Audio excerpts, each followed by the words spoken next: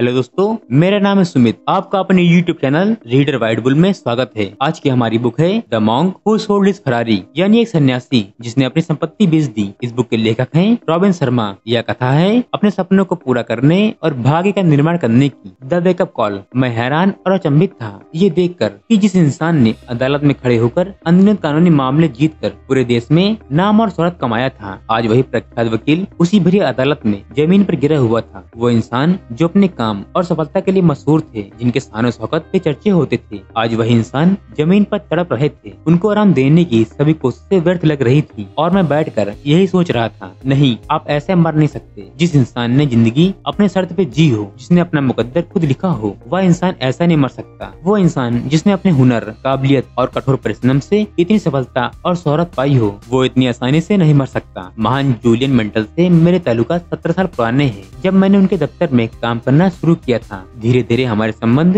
अच्छे होते गए। शायद मैं उनको सबसे करीब से जानने लगा था। यकीन नहीं हो रहा था कि ये वही जूलियन मिंटल हैं। सत्रह साल पहले क्या तेज था उनकी आँखों में। मानो पूरी दुनिया इन्हीं पर निर्भर करती हो। हर चीज़ को अपनी ही शर्तों पर करना। या यूँ कहूँ की हर परिस्थिति को अपने काबू में रखना। इनकी आदत से शायद मुझमें भी कोई बात रही होगी। तभी तो इतने सारे लोगों के बीच उन्होंने मुझे चुना। एक मामूली से लड़के को, जिसका दूर दूर तक चालाकी से कोई ताल्लुक नहीं था। हाँ बस ये की मैं अपने बलबूते पर हार्वर्ड लॉ स्कूल से पढ़कर आया था। जूलियन के साथ काम करना मेरी खुश नसीबी थी। आपको ये जानकर शायद हैरानी हो, जितनी शक्ति वो दुनिया को दिखाया करते थे। उनके अंदर उतना ही नरम दिल एक बच्चा छुपा हुआ था, जो भावुक भी था और नादान भी। लेकिन जो दुनियादारी की फ़िक्र से बंधा हुआ था, उनका शानदार भव्य बंगला या चमचमाती लाल रंग की फरारी के पीछे कुछ तो रहस्य था। जो सब कुछ होते हुए भी उनके अंदर एक अजीब सा अकेलापन होने लगा था। कुछ तो राज था, जिनका असर, उनके काम और व्यवहार दोनों पे दिखने लगा था। और शायद यही उनकी बेचैनी का कारण भी बन रही थी। शायद दुनिया की इस भाग दौड़ में वो पीछे नहीं रहना चाहते थे।